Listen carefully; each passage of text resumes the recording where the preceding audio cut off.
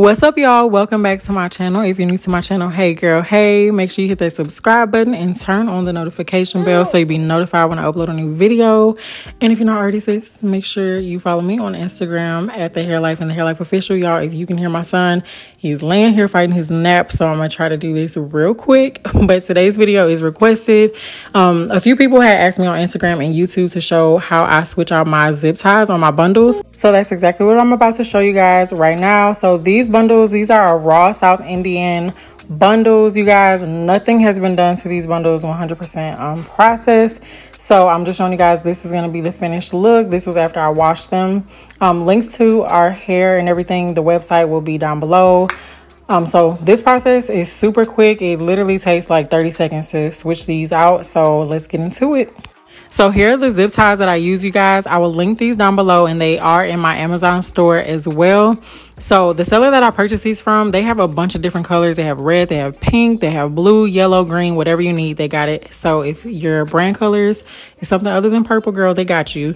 So as you guys can see, my vendor did send the bundles with black zip ties this time. Sometimes it's clear, but whatever it is, is getting cut off and I'm putting the purple on because that's just how I do. So I just take my Easy Action scissors by Fiskars. I will link these as well. They're super sharp. I literally will not make a wig without these. So you're just to slide that zip tie underneath your bundle exactly where the previous zip tie was that you cut.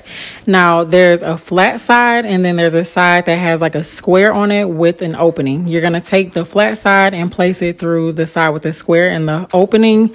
Place that through there all you're gonna do is pull that through and literally just pull it down until it is as tight as you can get it. You cannot tighten it anymore. Um, you're gonna do that for both zip ties and then you're gonna trim them.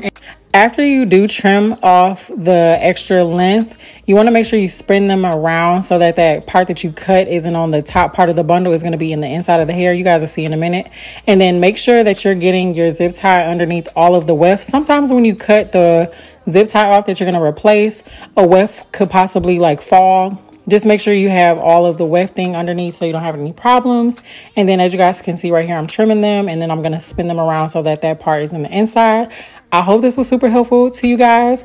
Make sure y'all check out the website. I'm telling y'all, these bundles are a must have. They will last you years with proper care. I'm going to be posting a lot more videos of our hair and everything so you guys can see.